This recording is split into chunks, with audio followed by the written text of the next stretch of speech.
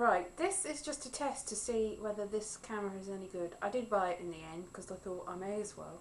And um, actually, the SD card you have to get separately costs more than the camera normally. And it does in Woolworths, certainly. It was £74 in Woolworths and the camera was only 69 So I didn't buy that, but I did go shopping, looking around, and I found one that was considerably cheaper than that. So I have got it anyway. And I don't know how successful this is going to be in the long term, but uh, we'll see. It's better than a kick in the teeth. Let's try the zoom.